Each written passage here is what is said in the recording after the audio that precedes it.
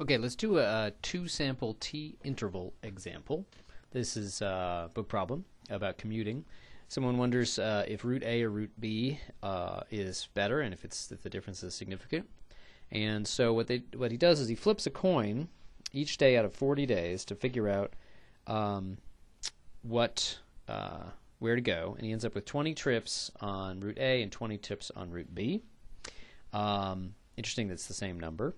Um, I guess he could have made sure it was the same and then flipped a coin somehow. But anyway, he's randomly deciding each day um, which route to take, and he ends up with 20 trips on each.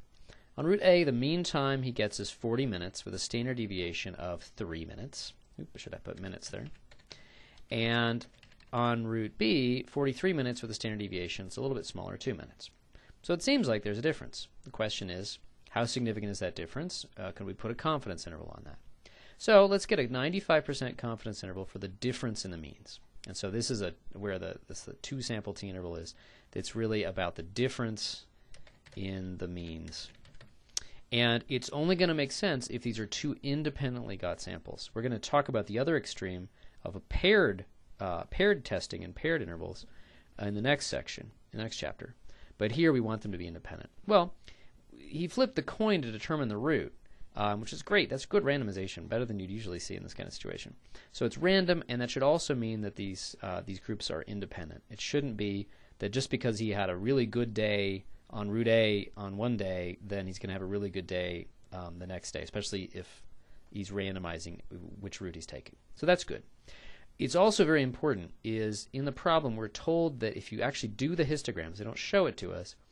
If you do the histograms of these times, the individual times, they look unimodal and symmetric. Now notice the ends are about are at 20 and total 40, but the individual ends are 20. And so we do need to really know um, that they don't look too skewed or too bimodal or anything like that, but we're assured that that's okay. So that's the conditions to do a two sample t interval. They talk in the chapter, in the later part of the chapter, about the idea of pooling and pooling t tests and stuff like that. We're just not going to do that. It's something that you can do. They tend not to recommend it. It's not crucial, but they say it's never wrong not to pool in this kind of scenario. And so we're not going to pool it. It's just it's too complicated anyway. Okay, so if we want to do this by hand, well, we can kind of do it by hand, but it gets a real a rather messy. And I'm going to show you a quick way on the calculator later. But we want to make sure to know uh, roughly what the calculator is doing. We still need the standard error. We need to know um, if I was going to do these samples over and over again. If I did many samples of 20 trips each, and I took look at the difference in the two means. Okay, it looks like it's three minutes, right? Or minus three, I guess, in this order. Well, how much is that likely to vary? It has to do with how much the SAs were varying, how much the SBs were varying, because those gives us our rough and ready estimates of the true variance if we did millions of trips on each route. And then it's something about dividing by root n, but whenever you have two things, you have to combine them with the Pythagorean theorem. And so you get the square root of the sum of the squares kind of phenomenon. We've seen this before. And so the standard error turns out to be 0.8062. Now, always to get a margin of error, we multiply that by whatever the appropriate t star is. It used to be z star. For means, it's a t star. Um, and that comes from the 95% confidence interval, but it also comes from the degrees of freedom. And they talk about in the book how there's this ugly formula in a footnote. It's not ridiculously ugly, but it's kind of messy and not something you want to have to do by hand. Um, and it turns out that that gives you 33.1. And I'll show you a quicker way, easier way to do that in a second. Okay. But the main thing is that this is it's near 40. It's between 20 and 40. It's pretty much always going to be in between the sort of one sample size and the total sample size. Um, but to do it correctly, you want to actually use the right number. Okay. So now we've got that. Uh, we plug that into T star. Use a table or use a, a T um, calculator. The 33.1, if you're using the calculator, just go ahead and round. Okay. So you get about 2.03 as it turns out. All right, so our margin of error is 1.64. Let's do a reality check real quick. Okay, that's predicting that if I took many, many samples, um, I'm to, of 20 trips each, I'm probably to see a bunch of numbers centered around minus 3 with a variability of about one and a half minutes. Okay, that's reasonable. It's a bit less than the individual variabilities, but not drastically less. That's what you should usually see, unless the sample size is really large, in which case it will be drastically less. So the effect of bundling things together in groups always reduces the variability. instead of something like 3 or 2 or even bigger, because the variabilities will combine in this situation, um, we also get the effect of the, the 1 over root n factor, and we get something that's pretty plausible. Okay, so we want to look at the difference of the two means. Okay, well, it's good. So the, the expected value is it's minus 3. If you just looked at these two numbers and I said, quick, give me a guess, I'd say, uh, I think route a is 3 minutes shorter. I guess. But maybe that's just because of random variation. Okay. But in any case, this confidence interval is going to be centered at that that naive guess. Okay.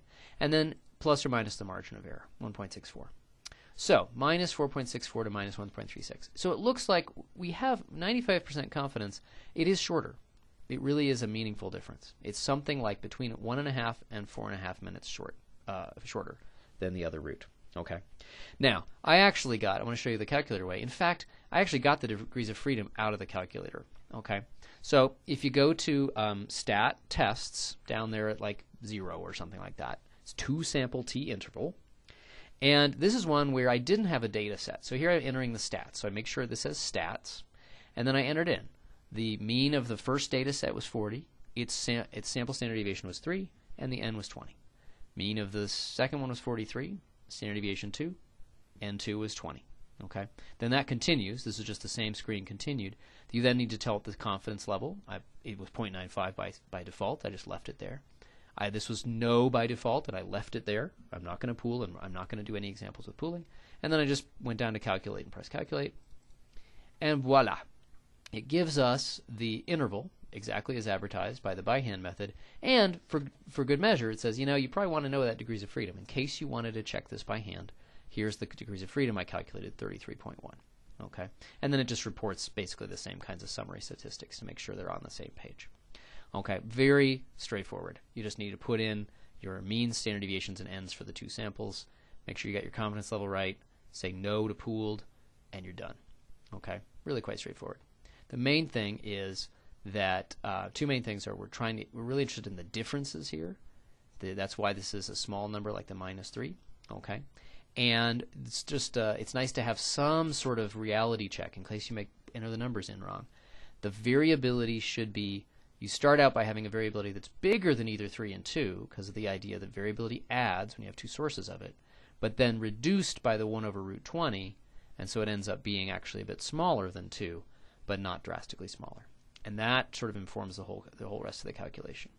Okay, that's why this is yeah, it's minus three plus or minus about one and a half. Okay.